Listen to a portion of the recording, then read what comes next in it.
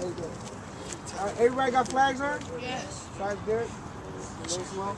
All right, look, uh, real quick, let's clap it up for the scrimmage yesterday. You guys did a good job.